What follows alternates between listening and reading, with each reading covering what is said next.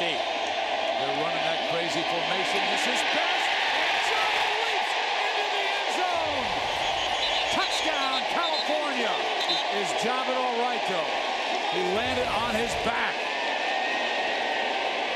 And he was up, he leaped to begin with, and then ended up landing on his back.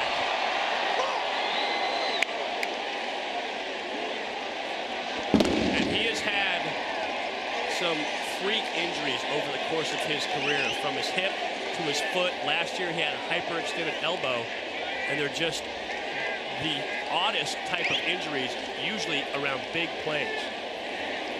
Well, he hurdled the defender into the end zone and landed on his back. He hurdled him and then got propelled up for these guys when they come in, the running backs, and does a wonderful job with all of these running backs. And you just hope that for such a fine young man, Java